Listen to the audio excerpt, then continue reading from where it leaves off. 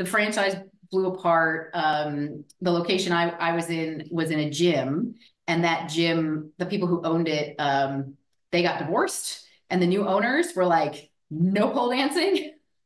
And at the same time, this franchise thing was sort of falling apart too. So I said, okay, maybe I don't do this pole studio thing anymore. And and all these things happened. This was like a very busy 2014.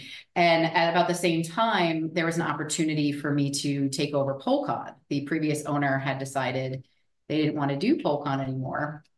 And so I said, you know, well, I'm really good at running things. That's kind of what I do.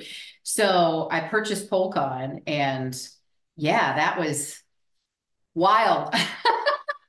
so just, uh, yeah. So I just kind of, I came to pole with more of a business mindset. Like I don't have a dance background. I don't have a movement background, but I like making things and collaborating.